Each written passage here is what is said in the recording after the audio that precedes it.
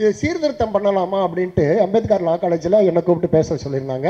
அதில் முக்கியமாக குஷ்பு சுந்தர் பேசினாங்க. அவங்க வந்து குரானில் ஒரு ஆயத்தை எடுத்து பலதார மனம் அப்படிங்கிற ஒரு ஆயத்தை அந்த குரானுடைய அந்த வருஷஸே அப்படி சொன்னாங்க ஆங்கிலத்தில் சொல்லி ஒரு ரெண்டு ரெண்டாக இரண்டு இரண்டாக உங்கள் திருமணம் செய்து கொள்ளுங்கள். நான்கு எனக்கு ஒன்றை வச்சுக்கிட்டே இருக்க முடியல. இதில் நானுங்கிறதுக்கு நான் எங்கே போவோங்கிற ஒன்று அதனால் எனக்கு கவலை இல்லைப்பா அப்படின்னு. சமப்பங்கு என்ன பண்ணுவீங்க? உங்களுக்கு ரெண்டு உங்கள் அக்கா தங்கச்சிலாம் ஒன்று தானே நான் சொன்னேன் எனக்கு ரெண்டு எங்கள் அக்கா தங்கச்சி ஒன்று முதல்ல எங்கள் அப்பா சொத்து வச்சுட்டு போகணும்ல சாப்பாடு அவங்க போனது எதுலன்னா கிரிமினல் சட்டம் நூற்றி இருபத்தஞ்சு கையில் எடுத்துகிட்டு போனாங்க. இஸ்லாமிய சட்டத்தை இல்லை.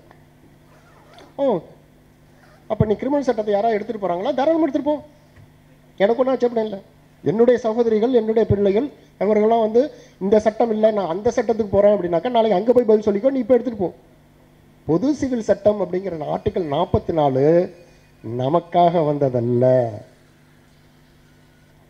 அந்த சமயத்தில் எந்த விதமான உரிமைகளும் இல்லாமல் இருந்த சகோதர சமுதாய பெண்களுக்காக என்ற அர்த்தத்தில் தான் நம்ம அம்பேத் டாக்டர் அம்பேத்கருடைய கனவை பார்க்கணும். எல்லா சட்டத்தையும் கொண்டாந்து உள்ளார போடுவோம். திருமண சட்டம் ஒன்றது என்னது எல்லாத்தையும் ஒன்றுவாங்க இதில் இருக்க பெஸ்ட் எடுத்துக்குவோம் அப்படின்னு. எனக்கு நல்லா தெரியும். நம்ம தான் பெஸ்ட்டுன்னு எடுக்க போகிறாங்க அது வரமாட்டாங்க. இது எத்தனை சட்டம் போட்டுக்கொண்டாலும் உங்களுக்கு ஒன்றும் பண்ண முடியாதுங்க. நீங்கள் உங்களுடைய சட்டத்தை நீங்கள் தான் பண்ணணும். இப்போ தான் கேட்டுட்ருக்கோம் எல்லாருமே எல்லாம் கேட்குறாங்க அப்படின்னா பொது புது சிவில் சட்டம் போதுனா அது என்ன தான் ஏன் கொஞ்சம் கண்ணில் அது காட்டுங்கிறாங்க ஒருத்தன் காட்ட மாட்டேங்கிறாங்க தான் அது. ஏன்னா முடியாதுங்கிறது இது முதல்ல நபிமார்கள் நபி ரசூல் சல்லா அலிஸ்வரத்தோட காலத்தில் பிரச்சனை இல்லை ஆனால் அவங்க சொல்லிட போகிறாங்க கலிஃபாவோட காலத்தில் ஒன்றும் பிரச்சனை இல்லை அவங்களும் சொல்லிடப்படுறாங்க போகிறாங்க ஆனால் அதுக்கு பின்பற வர காலத்தில் இது என்ன பண்ணுறதுங்கும்போது தான் அவங்களுக்கு நல்லாவே தெரியும். இதெல்லாம் தொகுக்கப்பட்டுச்சுங்கிறது. உங்களுக்கு நாலு இமாம்கள் வந்தாங்க அவங்களாம் இதெல்லாம் தொகுத்து இதுதான் நமக்கெல்லாம் சட்டம் அப்படிங்கிறதெல்லாம் கொடுத்தாங்க. அதை அப்படி அப்படியே ஃபாலோ பண்ணுறவங்களாம் நம்ம சொல்லிகிட்ருக்கோம் அதே காலகட்டத்தில் நீங்கள் இந்தியாவில் பார்த்தீங்க அப்படின்னாக்க இங்கே இருக்கக்கூடிய அரசர்கள் இல்லைன்னா இங்கே கூடிய வேதங்கள் இங்கே இருக்கக்கூடிய சாஸ்திரங்கள் இவர்களுக்குன்னு என்ன சட்டங்களோ அதே மாதிரி எந்த மாதிரி அப்படின்னாக்கா பெண்களுக்கு எந்த உரிமையும் இல்லை. திருமணம் பற்றிய ஒரு வரைமுறை கிடையாது. ஒவ்வொரு இதை இது எந்த- எந்த மாதிரியான ஒரு இருண்ட கால நிலை இருந்ததோ அதே மாதிரியான ஒரு ஏற்றத்தாழ்வான ஒரு சம சட்டத்தில் ஒரு முறையற்ற ஒரு சட்டங்கள் இருந்துகிட்டு இருந்த ஒரு காலத்தில் இருந்துகிட்ருக்காங்க இங்கே நம்மளுடைய முகலாயர்கள்லாம் வர்ற காலத்தில் எதை எடுத்துகிட்டு வந்தாங்க? நம்மளுடைய சட்டங்களை எடுத்துகிட்டு வராங்க. மு- முழுக்க முழுக்க அவங்க முகலாயர்லாம் வந்து நம்ம சுன்னத்துல் ஜமாத்த இருந்ததுனால எல்லாம் வந்து ஹனஃபி மதங்களுடைய சட்டங்களை கொண்டு வராங்க. அவுரங்கசீப் காலத்தில் உங்களுக்கு நல்லா தெரியும் ஃபத்வா ஆலம்கிரி அப்படின்ட்டு இங்கேருந்து பெரிய விற்பனர்கள்லாம் அனுப்பிச்சி விட்டு ஃபத்வா ஆலம்கிரி அப்படிங்கிறதுல ஒரு லட்சத்துக்கு மேற்பட்ட ஃபத்வாக்களை எல்லாம் ஒன்று திரட்டி அதன் அடிப்படையில் பண்ணுறாங்க ஆனால் அதே சமயத்தில் இங்கே இருக்கக்கூடிய இந்துக்களுக்கு சாஸ்திரங்கள் வேதங்கள் அவர்களுடைய சட்டம் என்ன சொல்லிச்சோ அது அவங்களுக்கு. நம்மளுக்கு இஸ்லாமியர்களுக்கு நம்மளுடைய ஃபத்வா ஆலங்கிரி நம்மளுடைய கு- குரானு நம்மளுடைய சுன்னா நமக்கு கொடுக்கப்பட்ட மதகுபுகள் இதில் அடிப்படையில் இருக்கிறவங்களே இவங்களுக்கு சட்டம் அப்படின்னு ஆங்கிலேயர்கள் வராங்க. ஆங்கிலேயர்கள் உள்ளே வரும்போது உள்ளே வந்தனும் முதல்ல பண்ணுறது என்ன அப்படின்னாக்க இஸ்லாமியர்களுக்கு இஸ்லாமிய சட்டங்கள் சரிய சட்டம் குரான் அடிப்படையிலான சரிய சட்டங்கள் இஸ்லாமியர்களுக்கு அவர்களுடைய தனியார் சட்டங்கள்ங்கிற சொல்லக்கூடிய திருமணம் விவாகரத்து அவர்களுடைய சொத்து பூர்வமானது மற்ற இதெல்லாம் சேர்ந்தது. இந்துக்களுக்கு இந்துக்களுடைய சட்டம் அப்படின்னு ஒரு டிக்ளரேஷன் கொடுக்குறாங்க. செவன்டீன் செவன்டி டூ டிக்ளரேஷன் அப்படின்னு சொல்கிறது அதான். டிக்ளரேஷன் கொடுத்துறாங்க. ஆக புரிஞ்சு போச்சு. ஆக இவங்களுக்கு இந்த சட்டம் இவர்களுக்கு இந்த சட்டம். ஆனால் அந்த சட்டங்களில் பார்க்கும்போது அவங்களுக்கு ந- இந்த இரநூறு வருட ஆங்கிலேயர் காலத்தில் பார்த்தீங்க அப்படின்னாக்க அதிகமான சட்டங்களை வந்து ஆங்கிலேயர்களே நமக்கு கொடுத்துட்டாங்க. இது ஒப்பந்த சட்டம்னு ஆரம்பிச்சு நான் நிறைய சொல்லிட்டே போகலாம் ஏன்னா உங்களுக்கு நல்லா தெரியும் அதெல்லாம் என்ன சட்டம் அப்படிங்கிறதுலாம் ஏன்னா கிரிமினல் சட்டங்களை கூட அவங்க தான் கொடுத்தாங்க. சாட்சி சட்டங்களை அவங்க தான் கொடுத்தாங்க.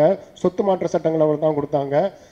பார்ட்னர்ஷிப் ஆக்ட்னு சொன்னால் இதே மாதிரி நிறைய சட்டங்கள் சிவில் சட்டம்னு சொல்லக்கூடிய எல்லாமே எதை விட்டுனாக்க தனிப்பட்ட சட்டங்கள். ஒரு திருமணம் மனமுறிவு சொத்து பிரச்சனை சொத்து எப்படி பாகப்பிரிவினை அப்படிங்கிறத தவிர. அதே சமயத்தில் கிறித்தவர்களுக்காக இப்போ சொல்லிட்டு போனாங்க இல்லையா? கிறித்தவர்களுக்கான திருமண சட்டங்கள் கிறித்தவர்களுக்கான ஸோ பாகப்பிரிவினை சட்டங்களை அவங்களும் வந்து லெஜிஸ்லேட் பண்ணிட்டு போயிட்டாங்க.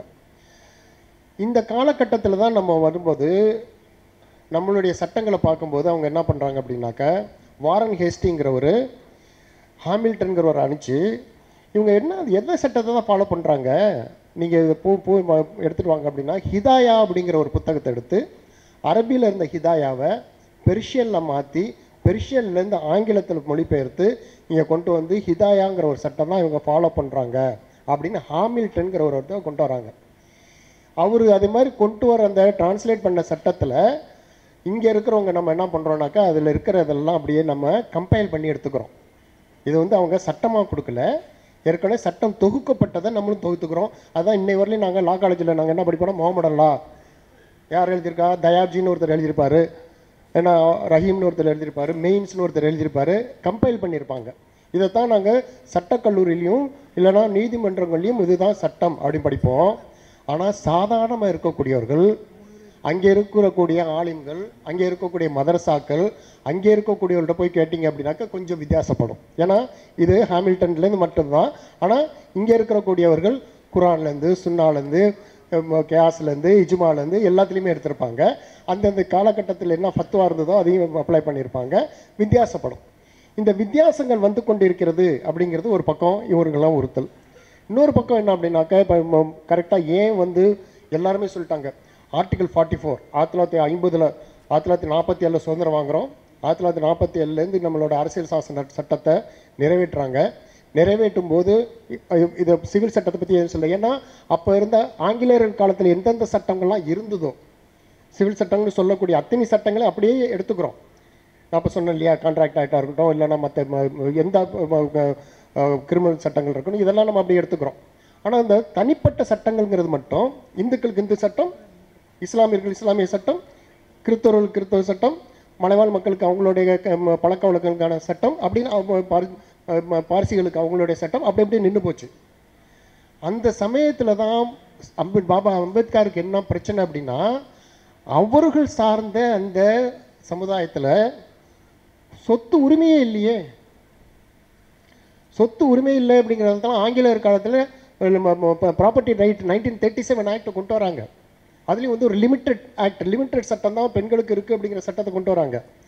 இன்னும் சொல்ல போனால் அவர்களுக்கு வந்து டைவர்ஸே கிடையாது விவாகரத்தே கிடையாது அவங்கள்ட்ட. அந்த கான்செப்டே கிடையாது அவங்களுக்கு. அந்த கான்செப்டே கிடையாது விவாகரத்துங்கிற கான்செப்டே அவங்களுக்கு கிடையாது. ஆனால் நமக்கு ஆயிரத்தி நானூறு வருஷத்துக்கு முன்னாடியே நமக்கு விவாகரத்துங்கிறது நம்மள்ட்ட வந்துருச்சு. அது முறையாக வந்தது இப்படி தான் செய்யலாம் அப்படிங்கிறதுக்கு. ஆக அந்த நேரத்தில் இருக்கும்போது இப்படி இப்படி ஏற்றத்தாழ்வான ஒரு சட்டம் இருக்கும்போது அவரோட மனசில் என்ன பற்றுக்கணும் பொது சிவில் சட்டம். இப்படி ஏற்றத்தாழ்வான ஒரு சட்டம் சட்டமே இல்லாமல் இருக்கும்போது எல்லாம் ஒன்று கம்பைல் பண்ண சாஸ்திரங்கள் அடிப்படையில் வேதங்கள் அடிப்படையில் அந்தந்த ஊருக்கு அப்போல்லாம் எங்கள் படிக்கிற காலத்தில் சொல்லிக் கொடுப்பாங்க. வந்து ம- இந்த இந்த சட்டங்கள் ஒரு பகுதிக்கு என்ன சட்டம் இன்னொரு பட்டிக்கு பகுதிக்கு என்ன சட்டம் அப்படிங்கிற வித்தியாசமே இருக்கும். வங்காளத்தில் நடைமுறையில் இருக்கிற சட்டம் தமிழ்நாட்டில் இருக்காது. தமிழ்நாட்டில் இருக்க இந்துக்களுக்கு சொல்கிறேன் நம்மளுடைய ம- சமுதாய சகோதர சமுதாயத்துக்கு சொல்கிறேன் இந்த சட்டத்தில் இருக்கிற ஏற்றத்தாழ்வு இருக்குன்னு சொன்ன உடனே முதல் முதலில் அவருக்கு சொல்கிறதே என்னன்னா அப்போ ஒரு சிவில் சட்டம் வரணும் எல்லாருக்கும். அவர் நம்மளை மனசில் வச்சு சொன்னதெல்லாம் எனக்கு படலை. அதுக்கு நல்ல ஒரு அவர் ஒரு எடுத்துக்காட்டு என்ன சொல்லணும்னா நைன்டீன் ஃபார்ட்டி எயிட்லேயே என்ன பண்ணுறாங்க ஹிந்து கோடுங்கிறதையே உருவாக்குறாரு அவர்.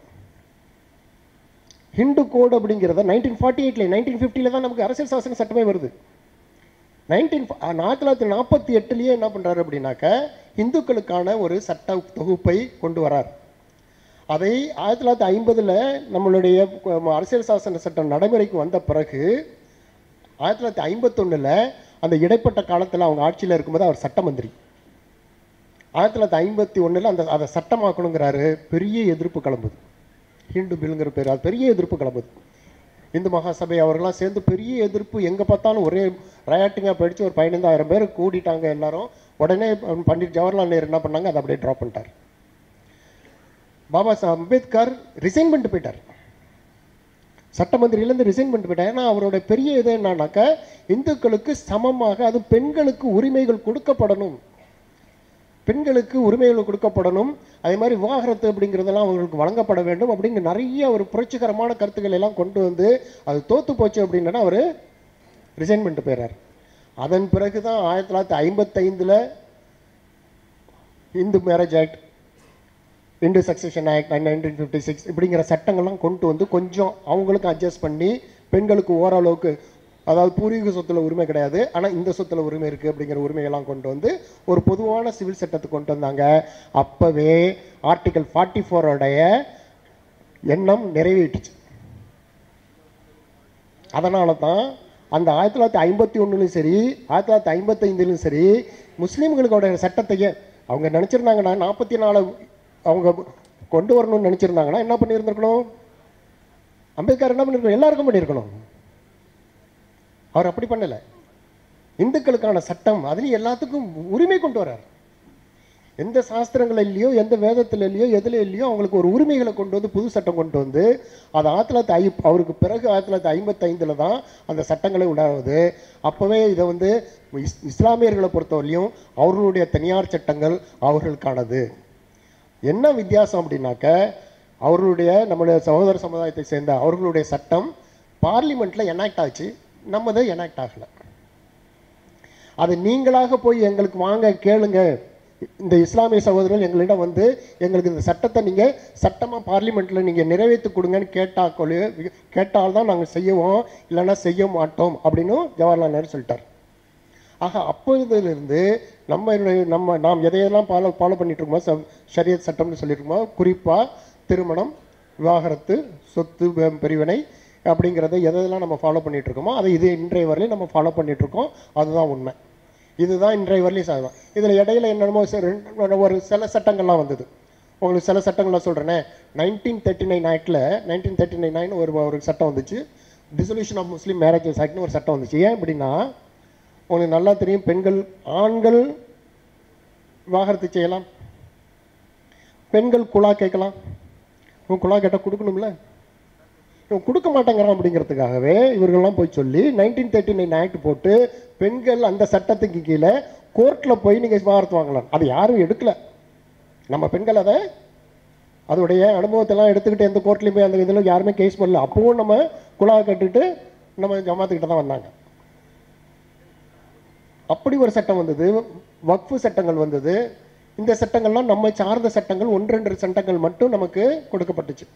மற்ற சட்டங்கள் அப்படியே நின்று போச்சு. அப்படியே ஃபாலோ பண்ணிட்டு வந்தோம். நமக்கு என்ன இப்போ எப்போ பிரச்சனை வந்தது? நம்மளுடைய நிக்காணமாக அதுதான் நம்மளுடைய திருமணத்தானே. ஏன்னா எல்லாருக்கும் தெரியும் நம்மளுடைய அவங்களே சொல்லுவாங்க இந்திய முஸ்லீம்கள் சட் திருமணம்ங்கிறது வந்து ஒப்பந்தம் கான்ட்ராக்ட் அப்படிம்பாங்க. இவங்க கன்சென்ட் கொடுத்து குபுல் கேட்டு இவங்க ஈசாப் கொடுத்து இவங்க குபுல் கொடுத்து ரெண்டு பேரும் சேர்ந்து ஒரு மகர் தொகை நிர்ணயித்து ரெண்டு விட்னஸ்க்கு முன்னாடி நாங்கள் இருவரும் திருமணமாக பந்தத்தில் இணைகிறோம் சொன்னாக்க திருமணம் நிறைவேறி போகுது இது இட்ஸ் சிவில் கான்ட்ராக்ட் அப்படின்ட்டு.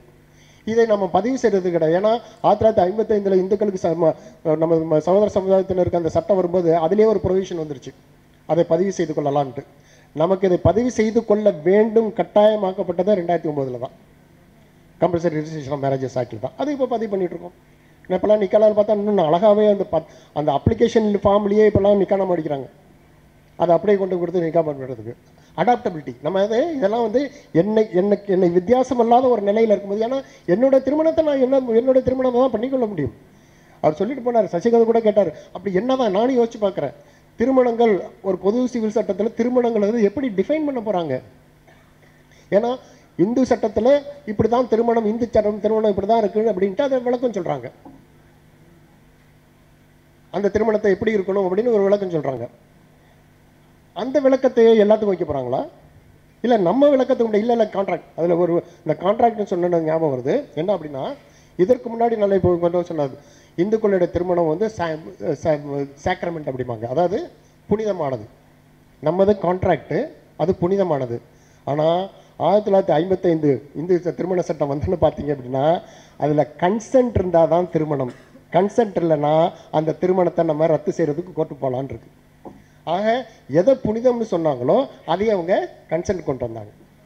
அதே போல் நீங்கள் வந்து அவங்களுடைய விவாகரத்துக்கு போனீங்க அப்படின்னாக்க ஓ நம்ம ஆண்கள் விவாகரத்து செய்ய- ம- தலாக் போகலாம் பெண்கள் தலாக்கு போகலாம் ரெண்டு பேரும் இணைந்து முபாரத் அப்படிங்கிற கன்சென்ட் தலாக்குக்கு வரலாம்.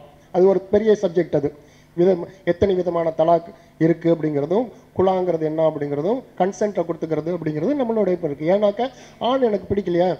அவர் ரீசன் சொல்கிறாரு இது மாதிரி மூணு தடவை மூணு இதா பீரியடில் இடையில யாராவது பேசி முதல் ஒரு தடவை சொல்லி கொஞ்ச நேரம் ஒத்தி வை. மனசு மாதிரி ரெண்டு பேரும் சேர்ந்தீங்கன்னா சேர்ந்துக்கோங்க. இல்லையா? ரெண்டாவது இடம் ஒரு தடவை பிரித்து வைங்க. மனசு மாதிரி சேர்ந்துக்கிறீங்களா? சேர்ந்துக்கோங்க. மூணாவது இடம் பிரித்து வைங்க. அதுக்கு மேலே சேரலைன்னா அதோட நிறுத்திடுங்க அதுதான் வார்த்தை அப்படிங்கிறது தலாகாசன் அப்படிங்கிறது எல்லாத்துக்கும் நல்லா தெரியும். அதே போல் அங் இதுக்கு வந்து நம்ம நீ இப்படி பண்ணுன நீ இப்படி பண்ண சொல்லலை ஆனால் அந்த சட்டத்தில் குறை சொல்லியே ஆகணும். ஏதாவது ஒரு குறையே ஏதாவது ஒரு குற்றத்தை சொன்னாலொழியே அதை நிரூபித்தாலொழியே உங்களுக்கு வேறது கிடைக்காது. அது வந்து என்ன தியரிமோனாக்கா கில்ட்டி தியரி அப்படிமோ ஒரு வாரத்து கிடைக்கிறதுக்கு அது கில்ட்டி தியரி நம்ம இதில் அந்த கில்ட்டி தியரி அதாவது ஒரு குற்றத்தை குற்றத்தை சுமத்தி தான் நம்ம வெளிவரணும்னு அவசியம் கிடையாது. ஆக அப்படிப்பட்ட சூழ்நிலையில் நம்மளுடைய த- தனியார் சட்டங்கள்ங்கிறது வந்து நம்மளுடைய திருமணங்களை நம்மளுடைய விவாகரத்துகளை நம்மளுடைய சொத்து விபரங்களை நமக்கு பிரித்து கொடுத்துட்டு இருக்கிற ஒரு நேரத்தில் பொதுவாக எப்படி கொண்டு வர போகிறாங்க அப்படிங்கிறது இன்னை வரலையும் இல்லை. ஏன்னா தேவையில்லைங்கிற அதனால தான் நான் பாட்டி அம்பேத்கரை சொல்லிட்டாரு ஃபார்ட்டி ஃபோரில் இருக்கு அப்படின்னா தேவையில்லை. ஏன் இருந்தது அப்படிங்கிறதுக்கு காரணம் தான். ஏன் இருந்ததுனாக்கா உங்களுக்காக எனக்காக இல்லை அவர்களுக்காக. அதுவும் நிறைவேற்றப்பட்டு இதில் போய் இனிமேல் ரிஃபார்ம் பண்ணலாமா? இந்த ரிஃபார்ம் அப்படின்னு அதாவது இது வந்து ரிஃபார்ம் தமிழில் சொல்கிறேன் சீர்திருத்தம் பண்ணலாமா? இது சீர்திருத்தம் பண்ணலாமா அப்படின்ட்டு அம்பேத்கர் லா காலேஜில் என்னை கூப்பிட்டு பேச சொல்லியிருந்தாங்க. அதில் முக்கியமாக குஷ்பு சுந்தர் பேசினாங்க. நானும் அவங்கள தான் பேசினாங்க. அவங்க வந்து குரானில் ஒரு ஆயத்தை எடுத்து பலதார மனம் அப்படிங்கிற ஒரு ஆயத்து அந்த குரானுடைய அந்த வர்சஸே அப்படி சொன்னாங்க ஆங்கிலத்தில் சொல்லி ரெண்டு இரண்டாக இரண்டு இரண்டாக உங்கள் திருமணம் செய்து கொள்ளுங்கள். நான்கு ஆனால் நீங்கள் அதில் நீங்கள் நீதியாக நடந்து கொள்ள வேண்டும் அப்படின்னு சொல்லிட்டு பின்னாடி ஒரு ஆயத்து வரும். நீங்கள் அதில் நீதமாக நடந்து கொள்ள மாட்டீர்கள் என்று எனக்கு தெரியும் அப்படிமால உண்டா இல்லையா? அதை சொல்லி பண்ணிக்கங்கன்னு சொன்னாங்க சொன்னா சொல்லியிருக்கு குரானில். ஆனால் நீங்கள் அது மாதிரி நடக்க மாட்டீங்கன்னு எனக்கு தெரியும்னு சொல்லிட்டதுனால அது புரகிப்டட் அப்படின்னாங்க. அவங்களுடைய இதில். அதுக்கப்புறம் நான் பேச போனது நான் சொன்னேன் இந்த பாரு எனக்கு ஒன்றை வச்சுக்கிட்டே இருக்க முடியல. இதில் நானுங்கிறதுக்கு நான் எங்கே போவோங்கிற ஒன்று அதனால் எனக்கு கவலை இல்லைப்பா அப்படின்னு. அப்போ சமப்பங்கு அப்படின்னாரு. சமப்பங்கு என்ன பண்ணுவீங்க? உங்களுக்கு ரெண்டு உங்கள் அக்கா தங்கச்சி எல்லாம் ஒன்று தானே நான் சொன்னேன் எனக்கு ரெண்டு எங்கள் அக்கா தங்கச்சி ஒன்று முதல்ல எங்கள் அப்பா சொத்து வச்சுட்டு போகணும்ல அப்படின்னு. இன்றைக்கு இருக்கக்கூடிய இந்த இஸ்லாமிய சமுதாயம் அங்கே காஷ்மீர்லேருந்து கன்னியாகுமரியிலும் தமிழ்நாடு வரையிலும் சச்சார் கமிட்டியிலேருந்து ரங்கநாத் மிஸ்ரா கமிட்டிலேருந்து இன்றைக்கு இருக்கிற கமிட்டி வரையிலும் உரிச்சு வச்சுட்டு போன ஒன்றே ஒன்று என்னன்னா நீங்கள்லாம் பொருளாதாரத்திலையும் படிப்புலையும் மிகவும் பின்தங்கிய நிலை இருக்கிறவங்கள்ட்ட காசே கிடையாது. நீங்கள் எதை போய் நீங்கள் போய் இன்ஹெரிட் பண்ண போகிறீங்க உங்கள் அப்பா அம்மா என்ன விட்டுட்டு போகிறாங்க அதில் போய் இன்ஹெரிட் பண்ணுறதுக்கு அதனால் எனக்கு ஒன்றும் இல்லைப்பா என்கிட்ட சொத்து இருந்ததானே நாங்கள் போய் நானும் சண்டை போட்டுக்க போகிறோம் சரி சொத்து இருக்குது என்ன பண்ண போகிறீங்க நான் சொன்னேன் சொத்து இருக்குது அப்படின்னா ஏன் தங்கை என்னிடம் வந்து அண்ணன் எனக்கு சமமாக கொடுண்ணே அப்படின்னு கேட்டால் நான் கொடுப்பேன் அப்படின்னு. ஆனால் அந்த ஆயத்தில் என்ன வரும் அப்படின்னா குரான் ஆயத்தில் அவர்களுக்கு இரண்டு பங்கு உங்களுக்கு ஒரு பங்கு. இதில் நீங்கள் வரம்பு மீறாதீர்கள். இதில் நீங்கள் இறைவனுடைய கட்டளையை வரம்பு மீறாதீர்கள் அப்படின்னு வரும். என்ன அர்த்தம்னா இப்படி தான் இருக்கணும் அதெல்லாம் வரம்பு மீறாதிகள் நாளைக்கு நான் இ- கொடுத்துருவேன். நாளைக்கு மகசரில் அல்லாஹ் என்னை கூப்பிட்டு நீ வரம்பு மீறாதுன்னு சொன்னேன் எப்படி நீ மீறினேன்னு கேட்டாக்க நான் இன்னொரு ஆயத்தை எடுத்து நீ தானே சொந்தக்காரங்கள்ட்டலாம் தாராளமாக இருந்துக்க சொன்னால நான் தாராளமாக இருந்துட்டேன்னா சொல்லிடுறேன் அப்படி ஆக என்னுடைய சொத்தை நான் பிரித்து கொள்வது என்பது ஒரு சட்டம் இருக்குது ஆனால் நான் எப்படி பிரித்துக் கொள்வது? இதே மாதிரி நான் தாராளமாக இருக்கலாமா வேணாமாங்கிறது அப்படிங்கிறது எனக்கும் என்னுடைய சகோதரிக்கும் உள்ளது. இப்போ என்ன பண்ணுவேன் அப்படின்னு? உங்களை ஒரு திருத்த முடியான்ட்டு அந்த மாதிரி எந்திரிச்சு போயிடுச்சு. ரிஃபார்ம் என்ன கொண்டு வருது ரிஃபார்ம் இதில் என்ன ஐ எம் கம்ஃபர்டபுள் வித் மீங்களா என்னுடைய சட்டத்தில் நான் திருப்தியாராக இருக்கேன் நான். என்னுடைய திருமண சட்டம்ங்கிறது என்னன்னு எனக்கு தெரியும். ஹிசாப் குபுல் நான் உன்னை கேட்கணும் கல்யாணம் பண்ணிக்கிறேன் கேட்கணும் நீ ஒத்துக்கிறியான்னு கேட்கணும் சம்மதிக்கணும். ஒரு மகர் இருக்கணும் ரெண்டு சாட்சி வேணும். அது என்னோட என்னுடைய திருமணம். இதை நான் பிரிஞ்சுக்கணும். அப்படின்னா அதுக்குள்ள சில காரணங்கள் இருக்குது இந்த இந்த சில வழிமுறைகள் இருக்குது அதன்படி பிரிஞ்சுக்கிறது அப்படிங்கிறது என்னோட காரணம் அன்கம்ஃபர்டபுள் நான் பிரியணும்னு அவசியம் இல்லை. பிரியணும்னு ஒரு கட்டாயம் வந்தா. நீ பிரிஞ்சு தான் ஆகணும்னு யாராவது சொல்ல முடியுமா என்ன? இல்லை வேற மாதிரி கல்யாணம் பண்ணிக்கன்னு சொல்ல முடியுமா என்ன? ஆக நான் இப்படி தான் இருக்கணும்னாக்கா அது நான் கம்ஃபர்டபுள் அதே மாதிரி என்னுடைய சொத்து வாரிசுகள் என்னுடைய சொத்துக்களை நான் கொடுக்கறது எனக்கு எப்படின்னு இருக்கு? பாகஸ்தர்கள் யாருன்னு சொல்லியிருக்காங்க. ஷேரர் யார்? ரெசிடியர் யார் அப்படின்னு. ஷேரர்கள் யார் அப்படின்னா சில பேருக்கு முன்னாடி யாருக்குமே கொடுக்கப்படாத இந்த பெண்களுக்காக கொடுக்கப்படாதலாம். குறிப்பான இத்தனை பங்கு கொடுத்தே ஆக வேண்டும் என்பவர்கள்லாம் அவர்களை பங்குதாரர்கள். இந்த பங்குதாரர்களுக்கு போக மிச்சம் மீதி இருக்கிறது தான் மற்றவர்கள் எடுத்துக்கொள்ள வேண்டுங்கிறது சட்டம். இது எனக்கு கம்ஃபர்டபுளாக இருக்குது எனக்கு அதில் என்ன பிரச்சனையும் இல்லை. என்னுடைய தங்கைக்கு எந்த பிரச்சனையும் இல்லை. என்னுடைய உறவினர்களுக்கு எந்த பிரச்சனையும் இல்லை. இது அது எதுக்காக நீ வந்து திரும்பி திரும்பி வந்து இல்லை யாரோ பாதிக்கப்பட்டிருக்கிறார்கள் யாரோ பாதிக்கப்பட்ட என் தங்கச்சி கேட்டால் கொடுத்துட்டு போகிறேன் என் தங்கச்சி கேட்டால் கொடுத்துட்டு போகிறேன் நாளைக்கு என் தங்கச்சி அண்ணன் எனக்கு வேணாம். இவங்க இந்த கவர்மெண்ட்டில் எனக்கு ஈக்குவல்னு சட்டம் போட்டிருந்தாலும் நாளைக்கு நான் அல்லாவுக்கு பதில் சொல்லணும் எனக்கு வேணான்னு சொன்னால் என்ன பண்ணுவேன்? அது என்னுடைய நம்பிக்கை என்னுடைய ஈமான் என்னுடைய தக்குவா? அப்படி ஒரு கேள்வி கேட்டால் என்ன பண்ணுவ? ஆக நீங்கள் வந்து இப்போ என்னதான் சட்டம் e போட்டாங்க ட்ரிபிள் தலாக்க பேண்டுன்னு போட்டாங்க. இப்போ என்ன பெரிய நமக்கு நடந்து போச்சா? தான் சொன்னார் அவர் கேட்டுட்டு பண்ணார் சசிகாந்த் வந்து சொன்னாருக்கு வில்சன் சொல்லிட்டு போனாங்க. ட்ரிபிள் e தலாக்கு வேணாங்க. ஏன்னா முக்கால்வாசி நம்ம அது மாதிரி செய்யறதில்ல. அதை மிஸ்யூஸ் பண்ணாங்க. மிஸ்யூஸ் பண்ணவங்க நின்றுக்கிட்டாங்க இப்பவும் கிராமத்தில் போய் பார்த்தீங்கன்னாக்கா இலகுவாக இது தேவையில்லை. இதுக்காண்டி பெரிய இதுக்கெல்லாம் கோர்ட்டுக்கெல்லாம் போனோம் இப்போ என்ன அப்படின்னாக்கா கஷ்டம் என்னன்னாக்கா இந்த ரிஜிஸ்ட்ரேஷன் மேரேஜ் ஆக்ட் வந்த பிறகு ரிஜிஸ்டர் பண்ண பிறகு இப்போ நாங்கள் யாராவது பிரிஞ்சுக்கணும்னா கூட கோர்ட்டுக்கு போய் நிற்க வேண்டியிருக்கு உண்மையிலே ரெண்டு பேர் பிரிஞ்சுக்கணும் முந்தியெல்லாம் ஜமாத்தில் போய் இல்லைன்னா தாமுகாட்ட போயிட்டு இல்லைன்னா வேற யார்கிட்ட போயிட்டு ஒரு சர்டிஃபிகேட் வாங்கிட்டு நாங்கள் இல்லைனாக்கா சீஃப் காசிட்ட போய் ஒரு சர்டிஃபிகேட் வாங்கிட்டு போயிட்டே இருப்போம். இப்போ என்ன அப்படிச்சுனாக்கா இது அஃபிஷியலாக இருக்குது அத்தாரிட்டேட்டிவாக இருக்கணும் அப்படிங்கிறதுக்காக கோர்ட்டில் போய் நிற்க வேண்டும். எங்களுக்கு சங்கடமே இப்போதான் எவ்வளோ எவ்வளவு இலகுவாக சில சட்டங்களை நாமெல்லாம் நம்ம பயன்படுத்திட்டு போனோம் அப்படிங்கிறதுல வந்து இலகுவாங்கிறதெல்லாம் கஷ்டப்படுத்திட்டு இருக்கோம் அப்படியே கஷ்டப்படுத்தினாலும் நமக்கு ஒன்றும் கவலை இப்போ என்ன இப்போ ட்ரிபிள் e தலாக்கு வந்துச்சு அப்படிங்கிறதுனால இதை யாரெல்லாம் தவறாக பயன்படுத்தி ஒரு பெண்ணுக்கு தீங்கிழைக்கிறார்களோ அந்த பெண் தீங்கிழைக்கப்பட்ட பெண் போய் சொல்கிறேன் இப்போ ஷாபானு கேஸ் அப்படிங்கிறது என்ன ஷாபானு கேஸ் எல்லாருக்கும் தெரியும். வார்த்தை செய்யப்பட்ட மண்ணுக்கு அந்த மூன்று மாதம் தான் மெயின்டெனன்ஸ் சொன்னாங்க. ஷாபானு கேஸ் வந்தப்போ ஆனால் அந்த ஷாபானு அவங்க போனது எதுலன்னா கிரிமினல் சட்டம் நூற்றி இருபத்தஞ்சு கையில் எடுத்துகிட்டு போனாங்க. இஸ்லாமிய சட்டத்தை இல்லை. ஓ அப்போ நீ கிரிமினல் சட்டத்தை யாராவது எடுத்துகிட்டு போகிறாங்களா தாராளமாக எடுத்துகிட்டு போ. எனக்கு ஒன்றும் ஆட்சேபணம் இல்லை. என்னுடைய சகோதரிகள் என்னுடைய பிள்ளைகள் இவர்கள்லாம் வந்து இந்த சட்டம் இல்லை நான் அந்த சட்டத்துக்கு போகிறேன் அப்படின்னாக்கா நாளைக்கு அங்கே போய் பதில் சொல்லிக்கோ நீ இப்போ எடுத்துகிட்டு போ. ஆக நம் நம்முடைய பார்வையில் நம்முடைய சட்டங்கள் நமக்கு மிகவும் இலகுவாகப்பட்டிருக்கு. நமக்கு நமக்கு நம்முடைய சட்டங்கள் நமக்கெல்லாம் ரொம்ப சௌரியமாக இருக்குது அதே சமயத்தில் நியாயமாக இருக்கிறது. அதுதான் என்னுடைய நான் பின்பற்றக்கூடிய ஷரியத் சட்டம் என்ற என்னுடைய சட்டங்கள். அது என்னுடைய திருமணம் என்னுடைய விவாகரத்து குறித்த பிரச்சனைகள் என்னுடைய வ- பாக பிரிவினை போன்ற பிரச்சனைகள்லாம் எடுத்துக்குது அப்படிங்கிறதுல இருக்கும். இன்னும் சொல்லப்போனால் அடாப்ஷன் பற்றி சொன்னாங்க. அது எப்படி உங்களதில் வந்து யாரும் வந்து அடாப்ட் பண்ணிக்க முடியாது அப்படின்னாங்க. அதை அடாப்ட் பண்ணிக்கிறது நமக்கு தெரியும். ஏன்னா அந்த அந்த இடம் வந்தது என்ன அப்படின்னாக்க உங்களுடைய பிள்ளைகளை வளர்ப்பு பிள்ளைகளை அவருடைய தந்தையின் பேரிலே அழையுங்கள் இறைவன் சொல்லுவான். குரான் ஆயத்து. உங்களுடைய வளர்ப்பு பிள்ளைகள் வளர்ப்பு பிள்ளைகள் தான் ஆனால் அவருடைய தந்தையின் பேரில் அழையுங்கள் உங்கள் பேரை சொல்லிடாத அப்படிமா. ஏன்னா முறை இல்லை.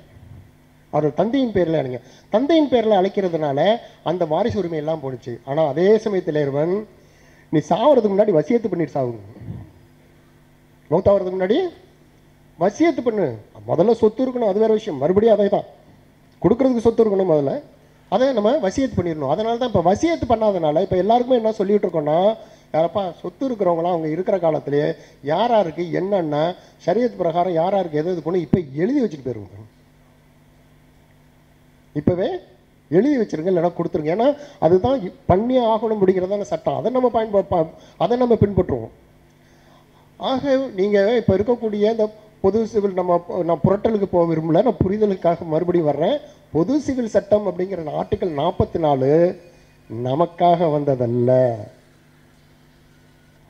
அந்த சமயத்தில் எந்த விதமான உரிமைகளும் இல்லாமல் இருந்த சகோதர சமுதாய பெண்களுக்காக என்ற அர்த்தத்தில் தான் நம்ம அம்பேத் டாக்டர் அம்பேத்கரோடைய கனவை பார்க்கணும். அவர் தான் ஆயிரத்தி தொள்ளாயிரத்தி நாற்பத்தெட்டில் கொண்டு வந்த ஹிந்து பில்லு. அதையே கொஞ்சம் மாடிஃபை பண்ணி அவங்களுக்கு ஏற்ற மாதிரி கொஞ்சம் ஏற்றுக்கிற மாதிரி கொஞ்சம் இதெல்லாம் மாற்றிஃபை பண்ணி ஆயிரத்தி தொள்ளாயிரத்தி ஐம்பத்தைந்தில் இந்து திருமண சட்டங்கள் வந்தது. ஆயிரத்தி தொள்ளாயிரத்தி ஐம்பத்தாறில் இந்து வாரிசுரிமை சட்டம் வந்தது. கார்டியன் ஆர்ட்ஸ் அவர்கள்லாம் மூன்று சட்டங்கள் தனித்தனியாக கொடுத்துட்டாங்க. அதுலேருந்து இது வரலையும் நமக்கு அப்படி ஒரு தேவை ஏற்படல. தேவை ஏற்படும் போகிறதில்ல அப்படியே அவங்க ஒன்றாலும் இதே தான் எனக்கு சந்தேகம். அது எப்படி தான் கொண்டு வருவாங்க அப்படின்ட்டு. ஆயிரத்தி தொள்ளாயிரத்தி நான் தொண்ணூற்றி ரெண்டில் இந்த இது மாதிரி நடக்கும்போது கேட்கும்போது நான் தான் சொன்னேன். ஒன்று பண்ணுவான். எல்லா சட்டத்தையும் கொண்டாந்து உள்ளார போடுவோம். திருமண சட்டம் ஒன்றது என்னது எல்லாத்தையும் கொண்டு இதில் இருக்க பெஸ்ட் எடுத்துக்குவோம் அப்படின்னு. எனக்கு நல்லா தெரியும். நம்ம தான் பெஸ்ட் எடுக்க போகிறாங்க அது வரமாட்டாங்க. அப்படி ஒரு அப்படி ஒரு சாய்ஸுக்கு வர மாட்டாங்க ஏன்னா இதில் பெஸ்ட் இது ஈஸி எதுன்னு. ஏன்னா எனக்கு ஏன்னா நாங்கள் கோர்ட்டில் பார்த்து போய் அழுத்து போச்சுங்க. இந்த விவகாரத்துக்காக வந்து நிற்கக்கூடிய பெ- பெண்களை எல்லாம் பார்த்து பார்த்து எங்களுக்கு அழுத்து போச்சு அவங்கள. இன்னைக்கு நேற்று ஒரு பத்து வருஷம் ஆகும். ஆண் வார்த்தெட்டு பெண் கொடுக்க மாட்டேன்டா அப்படி நான் மனைவி கொடுக்கலன்னா அது ஓடும் பத்து வருஷம். கீ ஃபேமிலி கோர்ட்டு அடுத்தது ஹைகோர்ட்டு அதுக்கப்புறம் சுப்ரீம் கோர்ட்டு நான் சுப்ரீம் கோர்ட்டில் போய் ஒரு விவாகரத்து கேஸ் ஒரு ஒரு இந்து பெண்ணுக்கான நான் நடத்தினேன். ஒரு இந்து பெண்ணுக்காக நான் ஒரு விவாகரத்துக்கு அதுவும் ஒரு வடநாட்டு பெண்ணுக்காக நடத்தினேன். கீழே ஃபேமிலி கோர்ட்டில் வந்து அந்த பெண்ணுக்கு வந்து அவன் அவன் வாரத்து வார்த்தை கேட்டனா இவங்க சேர்ந்து வாழணும்னு கேட்டிருந்தாங்க. இதுக்கடையில் ஒரு நாலஞ்சு வருஷம் ஓடிச்சு அவர் அந்த பையன் போய் இன்னொரு கல்யாணம் பண்ணிட்டு வந்துட்டார். அதுலேயே ஒரு பத்து வருஷம் ஓடி போச்சு அதுக்கப்புறம் ஃபேமிலி கோர்ட்டில் இல்லை விவாகரத்து கிடையாது சேர்ந்து வாழணும்னு சொன்னாங்க. ஹைகோர்ட்டு போச்சு. பத்து வருஷமாக போச்சு. இனிமேல் போய் சேர்ந்து என்ன பண்ண போகிற பிரிஞ்சே இருந்துறேன் அப்படின்னு சொல்லிட்டாங்க ஹைகோர்ட்டில் ஆனால் ரொம்ப அநியாயமாக இருந்தது. இங்கேருந்து சுப்ரீம் கோர்ட் போனோம். சுப்ரீம் கோர்ட் பதினஞ்சு வருஷம் ஆயிடுச்சு. இனிமேல் என்ன பண்ண போகிறீங்க எதுக்கு பேசி பாருங்களேன் நாங்கள் என்னோட கிளைண்ட்டை நிற்க வச்சுட்டு வந்தேன்.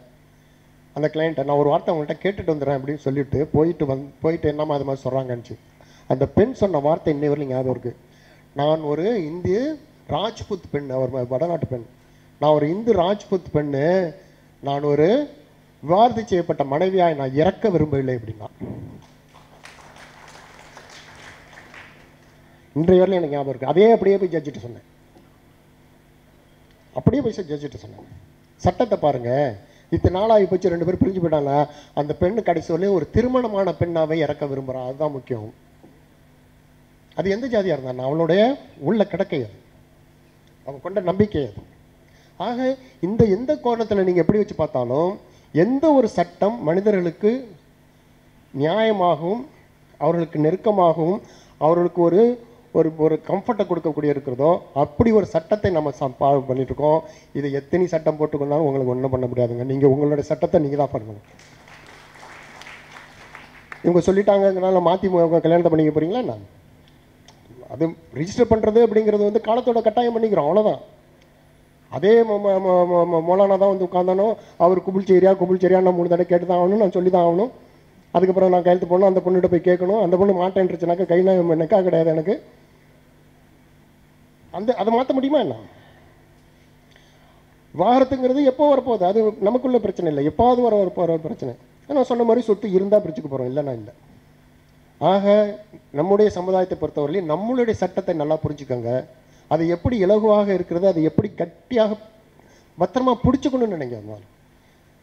அந்த சட்டத்தை எப்படி பிடிச்சிக்கணும் அதை எப்படி நம்ம ஃபாலோ பண்ணுங்கிறத நல்லா தெரிஞ்சுக்கோங்க. இது ரெண்டும் வந்ததுன்னா இவங்க என்ன பண்ணாலும் உங்களை ஒன்றும் பண்ண முடியாது. அப்படி ஒரு நிலைமை வந்து இப்போ தான் கேட்டுட்ருக்கோம்? எல்லாருமே எல்லாம் கேட்குறாங்க அப்படின்னா பொது பொது சிவில் சட்டம் போதுன்னா அது என்ன தான் கொஞ்சம் கண்ணில் அது காட்டுங்கிறாங்க ஒருத்தன் காட்ட மாட்டேங்கிறாங்க தான் அது. ஏன்னா முடியாதுங்கிறதும் கண்ணில் காட்டுங்க அதை அப்படின்னா. அது மாதிரி ஒன்று காட்டப் போகிறார்கள் என்ற ஒரு நிலைமை வரும்னாக்க அப்போ நம்மளுக்கு எதிராக இருக்கிற சமயத்தில் நிச்சயமாக எப்படி ஹிந்து பில் வந்தப்போ ஒரு பெரிய போராட்டம் நடத்தி அதை நிறுத்தினார்களோ நம்ம அப்படி போராட்டம் பண்ணி நிறுத்துறதுக்கு ஒரு பெரிய வேலையாது. அதற்கு எல்லாரும் நம்ம ஒற்றுமையாக இருப்போம் என்று கூறி வாய்ப்பளித்த அனைவருக்கு நன்றி கூறி விடைபெறுகிறேன். நன்றி வணக்கம் அஸ்லாம் வலைக்கம்